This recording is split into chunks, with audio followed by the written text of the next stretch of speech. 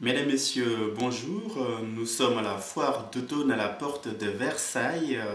Ici, dans le stand Serafrique, entouré de ces belles pièces, en compagnie de Corinne Azoumé, fondatrice de la dite structure, elle nous présente euh, sa dernière collection, African Dreams, ou euh, l'Afrique Lumière. Corinne Azoumé, bonjour. Bonjour. Corinne Azoumé, euh, pourquoi l'Afrique Lumière?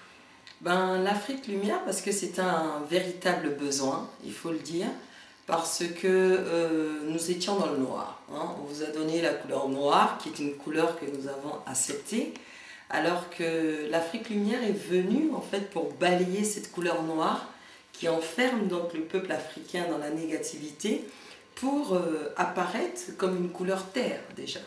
Ensuite, ça c'est déjà pour la première écriture. Pour la deuxième écriture, il faut savoir que l'Afrique lumière, c'est l'Afrique, c'est le rêve africain, c'est l'Afrique qui vient pour balayer tous ces clichés hein, qui enferment les peuples africains donc, dans la négativité, pour parler de l'Afrique source de vie, parce qu'on sait très bien que le monde entier vient en Afrique pour se nourrir, mmh. donc l'Afrique c'est le grenier.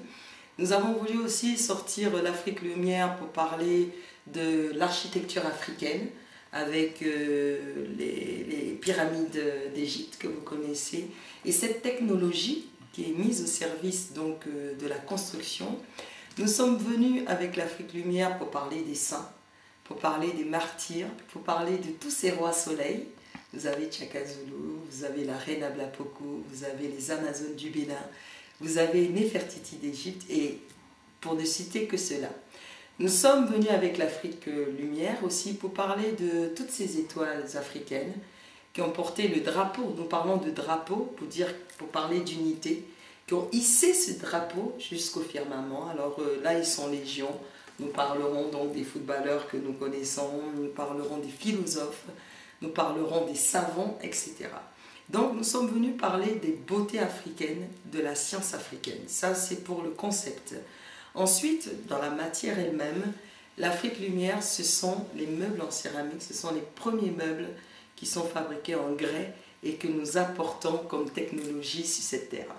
Justement, parlant de meubles, parlant d'objets, de, de, euh, parlant de pièces, vous avez parlé de la cellule familiale, les champs des pyramides, mais euh, la vedette reste euh, surtout les djembé slammers. Parlez-nous un peu de cette pièce. Alors, les djembé slammers, parce que à l'époque, nous voulons dire que nous étions les premiers à inventer la communication. Parce que dans les villages, lorsqu'un roi meurt ou qu'il y a une nouvelle à apporter, donc vous avez ces tam-tams qu'on appelle aujourd'hui des djembés qui tonnent. Et ça tonne par code. Lorsque sur la colline, le batteur se met donc par code à, à envoyer le message, tout le village se réunit parce que d'écho en écho, tous les villages sont au courant qu'il se passe quelque chose. Donc ça veut dire que la communication est une invention africaine. Donc aujourd'hui, ce n'est pas étonnant qu'on retrouve les portables, le téléphone, etc. Parce que d'ores et déjà, nous voulons dire que l'Afrique étant le berceau de l'humanité, rien ne s'est inventé. Nous avions déjà toutes ces technologies. Seulement, nous sommes un peuple très proche de la nature et nous aimons garder cette nature telle qu'elle est. Donc les James Slammer ont été euh, une véritable vedette au niveau de la foi, non seulement parce qu'elles représentent un outil de communication ancien, également parce qu'elles sont devenues, elles sont passées de la nature à la culture, avec donc cette touche bien bifalisée de Maxilla qui a apporté, je veux dire, euh, tous ces motifs euh, sur le cuir euh, qui, étaient vraiment magnifiques et qui a attiré comme ça tout le public. Ils étaient vraiment, tout le public était vraiment scotché quand ils ont vu qu'on pouvait, donc à travers ces jamés là, les utiliser pour en faire euh, de véritables meubles. Mhm. African Dreams, j'imagine que c'est tout un travail. Euh, combien de temps tout cela vous a pris, la conceptualisation, le travail autour euh, de cette nouvelle collection? Alors, il faut dire qu'il a fallu 10 ans, 10 ans, déjà 10 ans pour, parce qu'on passe de l'idée à la matière, comme on dirait, de la théorie à la pratique. Donc il nous a fallu déjà conceptualiser tout cela parce que vous savez qu'il y a des meubles en bois, il y a des meubles en fer, il y a des meubles en mousse, mais il n'y a jamais eu de meubles en céramique étant une matière assez fragile. Donc il nous a fallu tester une certaine résistance, donc trouver le produit, la matière adéquate. Donc nous avons choisi le grès qui a un tesson beaucoup plus gros et qui est beaucoup plus résistant. Nous avons travaillé avec un collectif euh, d'artisans euh, africains, donc euh, Congo, Bénin, Nigeria, Côte d'Ivoire, Sénégal.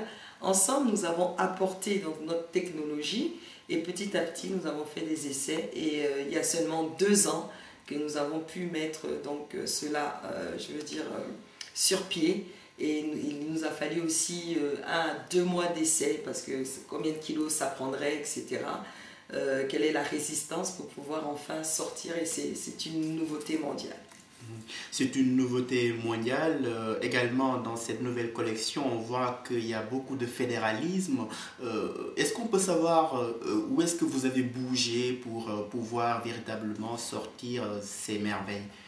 Alors, il faut savoir que personnellement, j'ai exposé dans, dans, plusieurs pays. Euh, je suis allée à la rencontre de plusieurs artisans et savoir un peu euh, leurs différentes technologies. On sait que, par exemple, les Congolais sont, sont très très forts donc, euh, dans, dans, dans, la sculpture. vous avez également le Sénégal avec les castes des forgerons qui, qui savent, je veux dire, créer une certaine alchimie. Vous avez les Ivoiriens qui ont cette, euh, une créativité débordante. Vous avez au niveau du Togo et du Bénin cette patience, etc. Donc ensemble, nous avons décidé de prendre les meilleurs, évidemment avec moi à la tête. Et euh, ensemble, c'était une très très bonne ambiance. Nous sommes restés là, nous avons essayé, nous avons peint, nous avons... Et il faut dire aussi, Ismaël, que moi je suis dans une vision afro-fédérale. Je me dis, que c'est dans l'unité, c'est dans les collectifs, c'est dans les réseaux que nous pouvons apparaître plus fort. Et euh, cela s'est vu euh, au niveau de la foire avec le succès qu'a connu cette collection. Justement, Corinne Zoumé, euh, vous avez participé à plusieurs foires. Quelle est la particularité de cette présente alors la particularité de, cette foire-là, c'est déjà parce qu'elle se situe au niveau du, parc d'exposition qui est le deuxième au niveau européen, donc euh, ce n'est pas rien. Ensuite, euh, il y avait quand même euh, le, le, must, comme on dit, de, l'aménagement intérieur. Donc parce que les autres foires, vous avez la, la foire de l'agriculture, vous avez la foire des professionnels. Là, c'était une foire de l'aménagement et euh, déjà, d'ores et déjà, avec notre travail, nous avons été affectés à merveille du monde. Donc, ça veut dire que ces pièces sont déjà considérées comme des, des, merveilles au monde.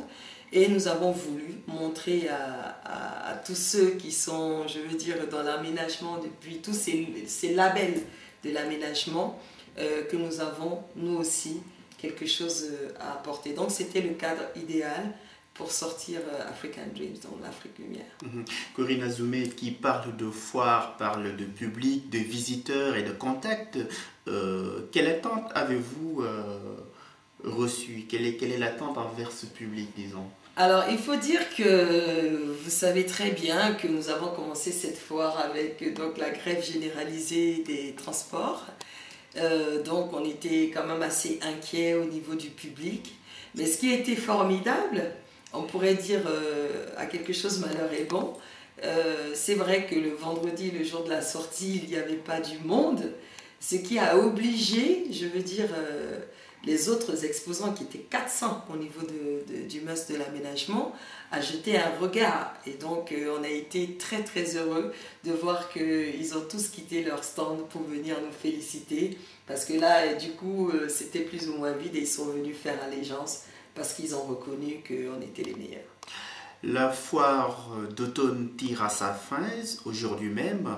Euh, quel bilan faites-vous de tout ça?